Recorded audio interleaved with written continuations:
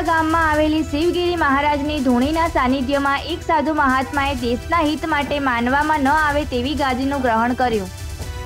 સમગ્ર દેશમાં અત્યારે કોરોના મહામારી નામના વાયરસે હાહાકાર મચાવી દીધો છે. ત્યારે કોરોનાને હરાવવા માટે કોરોના વોરિયર્સ ખડે પગે રહી પોતાની ફરજ પર રાત દિવસ મહેનત કરી રહ્યા છે.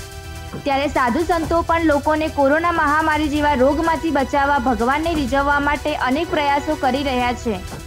ત્યારે અમીરગઢ તાલુકાના અવાડા ગામ પાસે આવેલી શિવગીરી મહારાજની ધૂણીના સાનિધ્યમાં જૂના અખાડાના મહંત શ્રી જગદીશપુરીજી મહારાજે દેશના હિત માટે તેમજ કોરોના મહામારી જેવા રોગનો નાશ થાય અને લોકોને આવા રોગમાંથી મુક્તિ મળે તે માટે પોતાના શરીરને કષ્ટ આપી કાંટાવાળી ગાદીનું ગ્રહણ કરી ભગવાન ભોળાનાથને પ્રાર્થના કરી રહ્યા છે. તેમજ ભગવાનને રીઝવવા માટે આ સાધુ મહાત્માએ સોમવારથી એકવીસ દિવસ સુધી આ ગાદી પર બેસીને તપસ્યા કરશે. રિપોર્ટર રતનસિંહ ઠાકોર बनासकांठा हाँ बोलो महाराज जगदीशपुरी जी महाराज कोरोना के कारण कोरोना के हटाने के कारण से जो बीमारी लगी है इसके कारण से महात्मा जी भजन कर रहे हैं 21 दिन का इनका भजन है और बहुत ही हठ योग कर रहे हैं जो कि कांटों के ऊपर 21 दिन तक तपस्या करेंगे ये खाली करुणा के लिए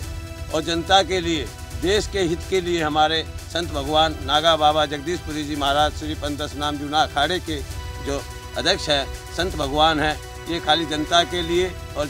देश के हित के लिए महात्मा अपने शरीर को कष्ट दे करके कांटों पर बैठ के तपस्या कर रहे हैं। हर हर महादेव। ભારતની અંદર જે કોરોના નામની મહામારી જે ચાલી રહી છે ત્યારે આપણા દેશ દેશના અ, રાજકીય નેતાઓ સાથે સાથે આપણા દેશના સાધુ સંતો પણ આપણા દેશ સમાજની ચિંતા કરી આજે સાધુ સંતોએ આપ તમે જોઈ શકો છો કે કા- કોટાવાળા આસન ઉપર બેસી સતત એકવીસ દિવસ સુધી મહાદેવનું ભજન કરી અને આપણા દેશની અંદર કોરોના જે કોરોના જેવી મહામારીમાંથી બહાર નીકળવા માટે આપણી સાથે સાધુ સંતો પણ જોડાયા છે અને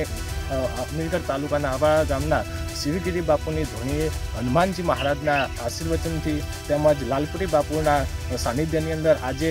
મંતશ્રી અ, તેઓ આ કોટાવાળા આસન ઉપર બેસી અને સમગ્ર દેશની ચિંતા કરતા સાધુ સંતો પણ આપણી સાથે છે તેથી એક આનંદની લાગણી અનુભવી શકાય છે